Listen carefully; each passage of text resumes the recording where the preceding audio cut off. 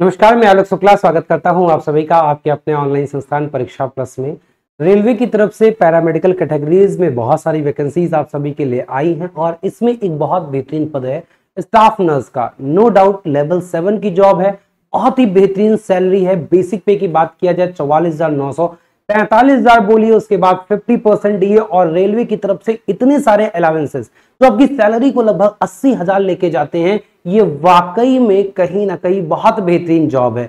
एक जीएनएम करने वाला जो कैंडिडेट होता है एक जो एएनएम भी करने वाला कैंडिडेट होता है, मैं आपको एएनएम के बारे में भी डिटेल में बताऊँगा, या जो नर्सिंग करने वाला जो कैंडिडेट होता है, वो ये नहीं सोचता कभी कि लेवल सेवन की जॉब के लिए भी वो क्या है? एलिजिबल है जनरली आप लोग देखते हो कि ANM GNM as a nurse वगैरह या फिर मेट्रन वगैरह बनते हैं तो 10 से पंद्रह हज़ार सैलरी होती है बट अस्सी हज़ार वो भी गवर्नमेंट इंप्लॉय वो भी मात्र 6 से 8 घंटे की जॉब और इतनी बेहतरीन आपकी रेपुटेशन शायद इससे बेहतरीन जॉब आपके लिए नहीं हो सकती। तो आप इस पूरी वीडियो को लास्ट तक अवश्य देखिएगा बहुत सारे बच्चियों का, बहुत सारे भाइयों का ये कंफ्यूजन है कि इसमें कौन कौन आवेदन कर सकता है, इसकी एज क्राइटेरिया क्या है क्या क्या इसमें माँगता है, क्या पढ़ना होगा, कहाँ से तैयारी करना होगा, तमाम आपके बहुत सारे डाउट्स होते हैं, जो इस वीडियो में आपको क्लियर करने वाला हूँ। यदि आप चैनल पर नए हो, चैनल को सब्सक्राइब अवश्य कर लीजिएगा।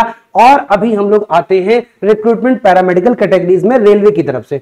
तो रेलवे ने कल अपना शॉर्ट नोटिस जारी कर दिया है और इसमें इन्होंने बताया है कि अगर आप देखोगे तो ये आपका जो स्टार्ट हो रहा है वो सत्रह सत्रह आठ से इन्होंने क्या किया है? सत्रह आठ से स्टार्ट किया है। यानी कि सत्रह अगस्त से आप इसमें आवेदन कर सकते हो और अंतिम तिथि क्या हो जाएगी? अठारह सितंबर तक इनकी सोलह है या अठारह है। 16 सितंबर इनकी क्या है? 16 सितंबर अंतिम तिथि है। इसमें करीबन लगभग 20 कैटेगरीज की जॉब है। अगर पिछला हम लोग नोटिफिकेशन देखें तो पिछले नोटिफिकेशन में लगभग 16 कैटेगरी की जॉब थी। इसमें इस बार इन्होंने 20 कैटेगरी की जॉब दिया है। जैसे इस बार इन्होंने ऑडोलॉजिस्ट स्पीच थेरेपिस्ट का हो गया क्लिनिकल साइकोलॉजिस्ट का हो गया, ये सारे क्या है? कुछ आपके एक्स्ट्रा पद आए हैं, है ना? ये ऑक्यूपेशनल थेरेपिस्ट हो गया, ये कैथ लैब वाले हो गए तो ये कुछ एक्स्ट्रा पद आए हैं जिसमें से हम बात कर रहे हैं नर्सिंग सुपरिंटेंडेंट या स्टाफ नर्स आप बोल लो। लेवल सेवन की जॉब होती है, चौवालीस हज़ार नौ सौ बेसिक पे होता है सीवन इसका मेडिकल स्टैंडर्ड होता है सीवन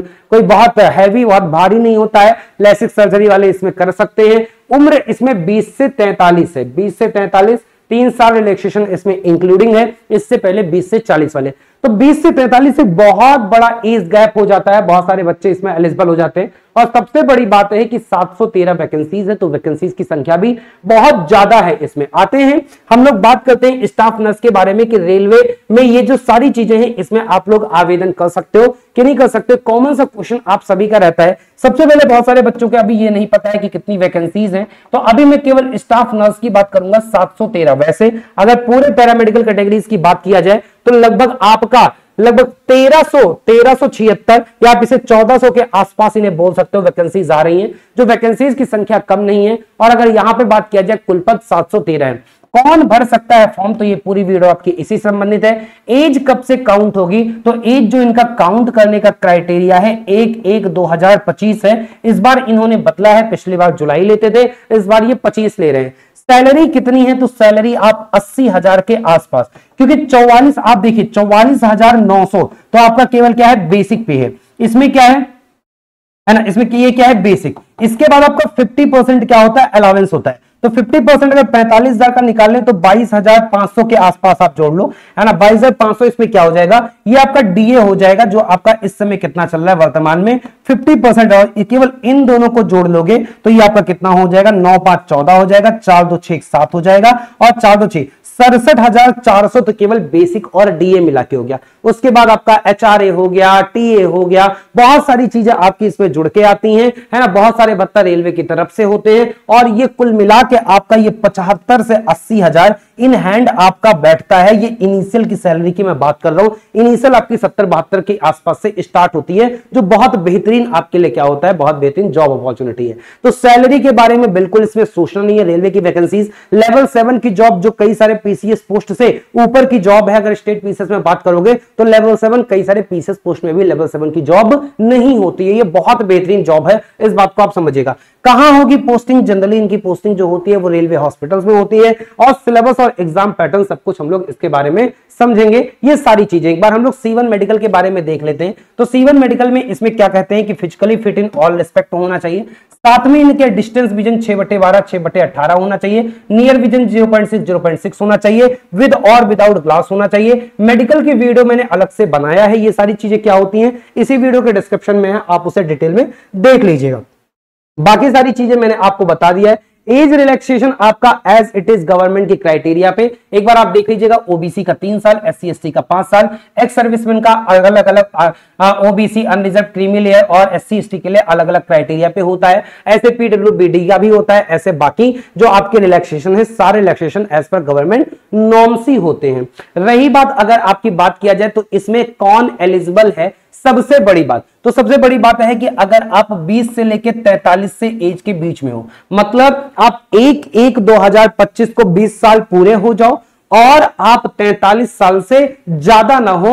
अगर आप इस कैटेगरी में हो तो आप कर सकते हो। ऐसे ही जो ओबीसी का कैंडिडेट है वो 46 साल तक और एस सी का जो कैंडिडेट है वो 48 साल तक। तो मेरे ख्याल से मैं इन जनरल बोल दूँ कि जितने भी लोग हैं सब एलिजिबल हैं। एज क्राइटेरिया कोई मैटर रखता ही नहीं यहाँ पे। हाँ ये बात अलग है। कि इसमें जो एजुकेशनल क्राइटेरिया है, इन्होंने क्या मांगा है? इन्होंने जीएनएम मांगा है क्या? तीन साल का कोर्स। वो भी तीन ईयर्स वैसे जो जीएनएम होता है, साढ़े तीन साल का कोर्स होता है, क्योंकि वो छह महीने का क्या होता है? छह महीने का आपका आप बोल सकते हो कि ट्रेनिंग टाइप में होता है आपका। तो वो तीन साल ही केवल मांगा है, तीन साल का आपका जीएनएम का कोर्स होना चाहिए। और अदर इंस्टीट्यूशन ठीक है? या फिर आपका बीएससी नर्सिंग होना चाहिए। तो जीएनएम वाले या बीएससी नर्सिंग वाले क्या है? इसमें एलिजिबल हैं।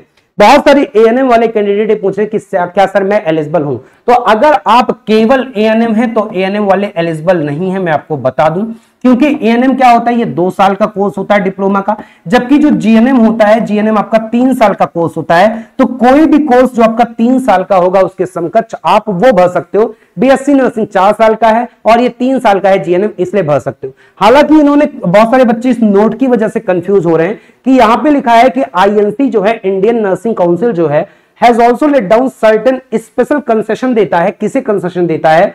एएनएम वाले लोगों को एएनएम ऑक्सिलरी नर्स मिडवाइफ्स हो गए या मिडवाइफ्स हो गए, या फिर जो ग्रेड बी कैटेगरी के नर्स होते हैं, इनको कंसेशन देता है कि वो अपना जो कोर्स है एएनएम के बाद जीएनएम कम समय में पूरा कर ले, जिन्हें बोला जाता है ब्रिज कोर्स तो एएनएम का वो कैंडिडेट जिन्होंने ब्रिज कोर्स किया हुआ है, ये लगभग एक साल का कोर्स होता है जीएनएम या फिर एएनएम के बाद जीएनएम या नर्सिंग बीएससी नर्सिंग कई बार क्या होता है जीएनएम को लोग कर लेते हैं, कई लोग बीएससी नर्सिंग कर लेते हैं तो कोई एएनएम अगर ब्रिज कोर्स किया हुआ है किसका बीएससी नर्सिंग का, या फिर किसका किया हुआ है जेएनएम का किया हुआ है तो वो एलिजिबल है। एएनएम के साथ एक साल का एक्स्ट्रा ब्रिज कोर्स आपका सर्टिफिकेट वो कोर्स होना चाहिए, तब आप एलिजिबल हो। केवल अगर आप एएनएम हो तो एलिजिबल नहीं हो। इस नोट्स का मतलब ये है क्लियर तो आप लोग कौन? या तो जीएनएम वाले बीएससी नर्सिंग वाले, या एएनएम प्लस ब्रिज कोर्स वाले। और अगर ब्रिज कोर्स कर लिया तो उसका मतलब या तो बीएससी नर्सिंग या जीएनएम हो ही गया। तो अल्टीमेटली आपका बीएससी नर्सिंग या जीएनएम ही आप इसे बोल सकते हो कि ये क्या कर सकते हैं, इसमें फॉर्म आवेदन कर सकते हैं। तो ये जो सबसे बड़ा डाउट था, वो मैंने आपका यहाँ पे क्लियर कर दिया है। 713 वैकेंसीज आपका स्टाफ नर्स का है। अब रही बात इसकी तैयारी और क्या पूछा जाता है? तो आपसे 100 नंबर का पेपर होता है, एक ही स्टेज का एग्ज़ाम होता है ऑनलाइन पेपर होगा 90 मिनट का पेपर होगा वन थर्ड आपकी नेगेटिव होगी, जिसमें 70 नंबर आपके सिलेबस से पूछा जाता है और 10 10 10 नंबर आपका जनरल अवेयरनेस मैथ्स और रीजनिंग और साइंस से पूछा जाता है। इसमें एएनएम वाले जो दोस्त हैं, हमारे जो बच्चियाँ हैं, वो क्या कर रहे हैं? वो दुखी हो गए कि सर, हमारे हाथ से निकल गया। तो आपको परेशान होने की ज़रूरत नहीं है। आपके लिए यूपी ट्रिपल एससी की तरफ़ से एएनएम की बहुत बेहतरीन वैकेंसीज आ रही है। और अगर आप ऑल ओवर इंडिया किसी भी स्टेट से हो तो जनरल कैटेगरी में यूपी में आके जॉब कर सकते हो। और यूपी में हो तो आपको कैटेगरी का भी लाभ मिलेगा। ये यूपी ट्रिपल एस की तरफ़ लगभग बावन सौ, तिरपन सौ पद पे फिर से, इससे पहले नौ हज़ार पदों पर आया था। और तिरपन पदों पे। आप सोचो, केवल एएनएम की वैकेंसी ओवरऑल रेलवे की कुल वैकेंसी जो आपका पैरामेडिकल कैटेगरी आई है 1400 उससे, उसका कम से कम तीन गुना है, चार गुना है, इस बात को ध्यान दीजिएगा। तो ये एएनएम वाकई में आपके लिए बहुत बेहतरीन है। बाकी जो यूपी वाले कैटेगरी आ रहे हैं तो यूपी वालों के लिए तो बहुत बेहतरीन आपका हाई है। इसका कोर्स आपके लिए लॉन्च कर दिया गया है, मात्र चार सौ निन्यानवे का है। आप इसके लिए जुड़ सकते हो और बहुत बेहतरीन तरीके से इसमें तैयारी भी करवाई जा रही है, जो जो ए वाली बच्चियाँ हैं। ये महिला कार्यकर्ता, स्वास्थ्य महिला कार्यकर्ता की यहाँ पे वैकेंसी आई है और केवल लेडीज़ यहाँ पे फॉर्म भर सकती है, ये बहुत बड़ी बात है। रेलवे में आप अगर कोई भी बैच लेना चाहते हो तो रेलवे के सारे बैचेज आपके मात्र एक सौ निन्यानवे में ऑफ़र में है, चाहे ग्रुप डी हो, चाहे एनटीपीसी हो, चाहे जेई हो, चाहे एलपी हो, चाहे फिर आपका टेक्नीशियन हो या आरपीएफ हो, सारे एक सौ निन्यानवे। बहुत सारे बच्चे ये बोल रहे हैं कि, सर, क्या स्टाफ नर्स का कोर्स आएगा? तो स्टाफ नर्स में अगर आप जो बेसिक जो चीज़ें हैं, जैसे मैं आपको बता रहा था, ये दस दस नंबर आपके कौन से हैं, दस दस नंबर आपके जो मैथ्स रीजनिंग और साइंस वाला है। इस वाले पार्ट को आप तैयार करना चाहते हो तो आपके लिए यूट्यूब पे ये तीस नंबर कवर करवाया जा रहा है। कहाँ से आप कवर कर सकते हो? आप परीक्षा प्लस इसी यूट्यूब चैनल पे शाम को छह बजे मैं खुद साइंस की क्लास लेके आता हूँ, उसके बाद आठ बजे मैथ्स की क्लास लेके आता हूँ, और आपके सात बजे जीके जीएस की क्लास होती है, जो सर्वे सर रमन सर कराएँगे, और आठ ही बजे आपकी रीजनिंग होगी, जो लास्ट के तीन दिन सप्ताह के रीजनिंग होगी, और शुरुआत के तीन दिन मैथ्स होगी। तो आप इन चारों क्लासेस से अपनी मैथ्स रीजनिंग साइंस और जीके जीएस जनरल अवेयरनेस मज़बूत कर सकते हो, जो परीक्षा प्लस यूट्यूब चैनल पे शाम को छह बजे से लेकर आठ बजे के बीच में कर सकते हो। ये टीमें आपको पढ़ा रही होंगी और कौन से जुड़ना चाहते हो तो आप इनसे जुड़ सकते हो। रही बात इनके सिलेबस का तो सिलेबस एक बार मैं आपको बता दूँ कि आपके सिलेबस में क्या पूछा जाता है स्टाफ नर्स में। तो इसमें आपका ह्यूमन एनाटॉमी पूछा जाएगा, है ना? एनाटॉमी पूछेगा, आपका फिजियोलॉजी पूछेगा न्यूट्रिशन से पूछेगा बायोकेमिस्ट्री से पूछेगा नर्सिंग से नर्सिंग फाउंडेशन साइकोलॉजी से पूछेगा माइक्रोबायोलॉजी सोशोलॉजी यहाँ पे आपका फार्माकोलॉजी से पूछेगा पैथोलॉजी से जेनेटिक्स से मेडिकल सर्जिकल नर्सिंग से एडल्ट इंक्लूडिंग यहाँ पे community health nursing child health nursing mental health nursing midwifery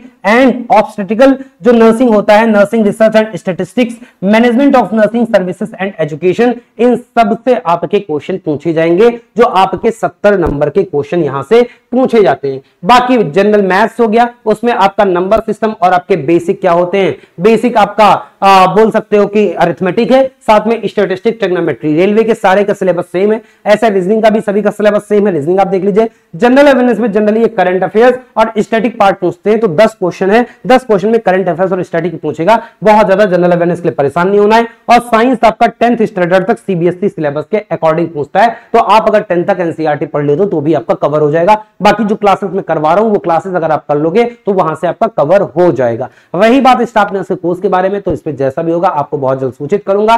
इस वीडियो में बस इतना ही। चैनल पे नए हो सब्सक्राइब अवश्य कर लीजिएगा। यदि आपके अभी भी कोई डाउट है तो आप कमेंट बॉक्स में पूछ सकते हैं। फिर मिलूँगा। धन्यवाद सभी का। आभार।